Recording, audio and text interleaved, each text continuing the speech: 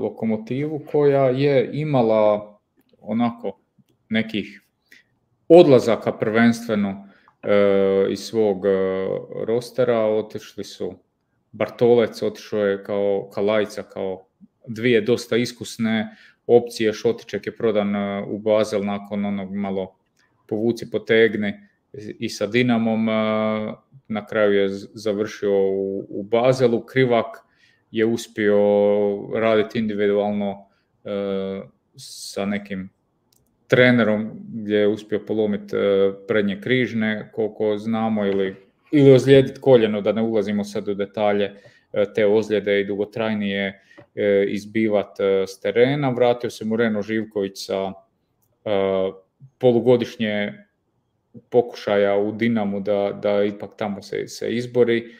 otišao je i Čavlina, kako smo već spomenuli, tako da otišao je Marić, Marić i Bubanja su otišli, Marić je otišao na Cipar, Bubanja je otišao u Sarajevo, tako da popriličan broj odlazaka koji za sad nisu ono, jako nadomješteni. Šta mislite vi o Lokomotivi? Mislim da je Lokomotiva ekipa koja je najviše fasovala ovaj prilazni rok, ako ćemo tako, ako ćemo tako reći. Čak nisu uspjeli ni utržiti toliko koliko su ti igrači njima vrijedni. Ok, ne znam za koliko je Bubanja prešao kod Zekića, koliko je to koštalo, ali Čablina zbog odšatne klauzule u ugovoru je debelo ispod njegove cijene. Šotić je na kraju koliko se govori 3 milijuna eura da je, da je to što je baza ponudio, tako da je to je dobro, ali izgubio si Bartoleca, izgubio si Kalajicu, to su dva, ono, obojica su otišla u Ostanu, čini mi se, s njima si izgubio dva igrača koji su u tom defensivnom dijelu igre bili više nego iznad prosječnih HNL igrači. Mislim da su mogli jako puno toga dati klubu. Marić i Bubanja su ti držali veznu liniju, jako dobro su funkcionirali. Marić mislim da je, ono, Bubanju smo čak i sezonu prije toga hvalili, hvalili smo ga i prošle sezone, Marić je taj koji je možda malo i više otišao ispod, ispod radara, iako smo za njega imali dobre riječi, ono, ta kapetanska uloga i sve što je on donosio u veznoj liniji, mislim da će biti teško za nadomjestiti.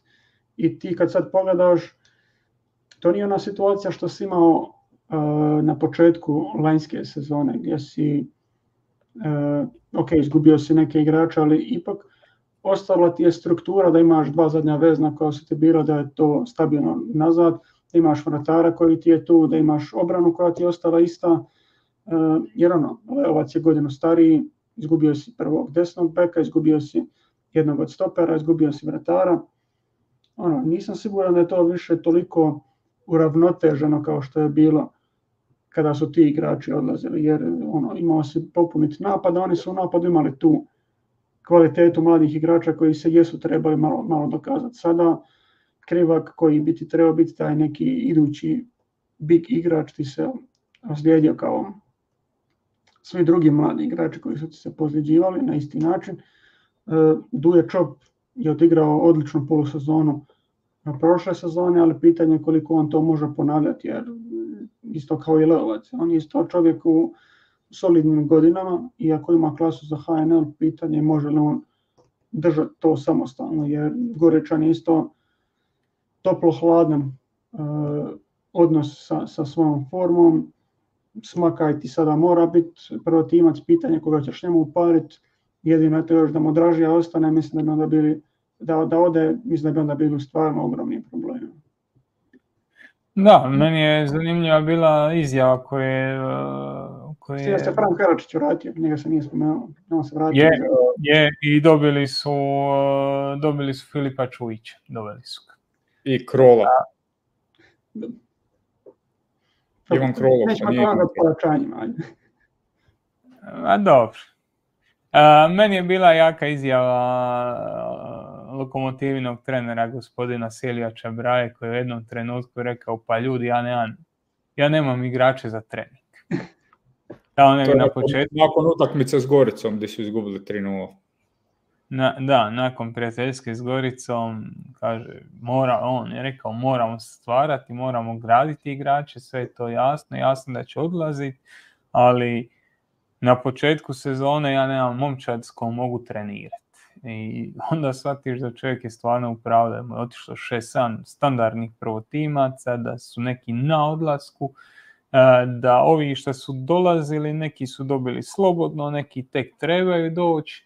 I onda dođeš do toga da čovjek ima 13-14 igrača na treningu i da se krpa sa klincima, ali dobro, ajde posudio Čabraju Dinamu pa ovoga, kad će da je posudio Dinamu pa jadan Čabraja, snaći se on nekako.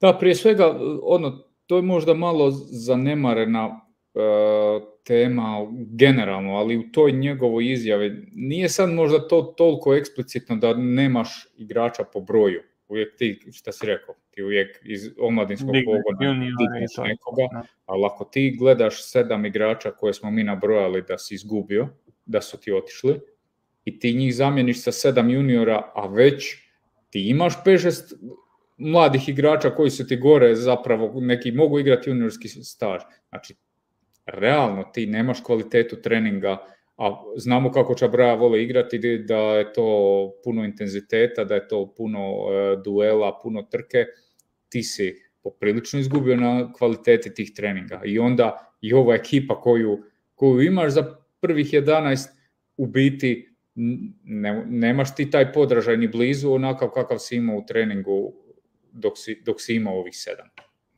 na kraju krajeva nije on izgubio samo tih sedam igrača, on ih je izgubio na ovom prijelaznom roku, ali ajmo se vratiti na, na samo zimski prijelazni rok, odnosno situaciju prije šest mjeseci. Tada ti je, tada ti je otišao Indrit Tuci, tada ti je otišao, ne znam, zaboravio sam, otišao ti je Aliju, otišao ti je na, na, na Živković, na beku ti otišao, ovaj, kako se zove, Cipetić, e, znaš, izgubio si puno... Ja mislim. Da, Cipetić. Da, Miličević je otišao na Cipar, tako nešto. Grčka, Grčka. Ne... Grčku, da. Uh, ti si u šest sam mjeseci izgubio praktički čitao prvu, prvu postavu. Ok, doveo si, recimo, izgubio si Tucija par dana kasnije si doveo Duju Čopa, nešto se tu krpalo. Ali ovo što Joža kaže, ti za nekakvu tenziju koju imaš, za nekakvu konkurenciju, za nekakav ritam kojim želiš igrati, ti si izgubio ogromnu količinu igrača. Uh, je, meni se samo čini da jednu stvar mislim, za njih se nadam da to neće biti tako, ali za jednu stvar mi se čini da oni nisu ne naučili iz tuđih grešaka, nego i svojih grešaka.